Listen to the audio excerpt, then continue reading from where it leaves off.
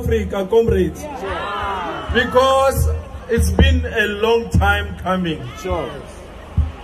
Many years, 30 years almost, this country went through a transformation process. We left apartheid and entered a new dispensation called the Democratic State of South Africa.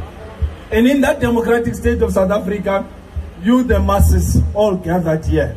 You're supposed to be the beneficiaries of your wealth, your land, and your economy.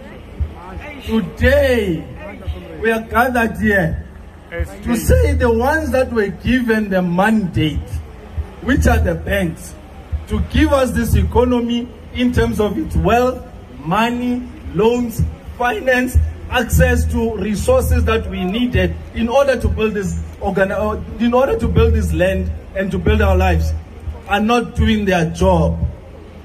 These racist banks that were here in the financial district of Sandton today to occupy and to demonstrate too that after we have gone past apartheid, today they are treating us worse than what apartheid did. In apartheid times, no black person's bank account was closed. They didn't care about you anyway. Here we are in the new democracy. Our bank accounts are closed. In apartheid days, they didn't repossess your things again. None of us were had properties that were repossessed again. Apartheid did not care about us. Today, our properties are repossessed. Today, our cars are repossessed. Today, our assets are repossessed. Today, the students do not have loans that they need to get an education and a qualification. And they are blacklisted as such they cannot even receive their certificates of graduation. Today, you don't have cars because banks refuse to finance black people in South Africa.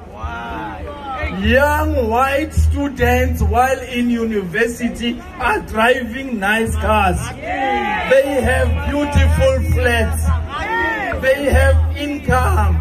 They can go and eat in restaurants. But when it comes to black people, they say it's wrong. Our people do not qualify, nor do we even look as a people that is supposed to live a respectable life. We are tired. We, are, we know very well that in 1994, we negotiated a settlement, right?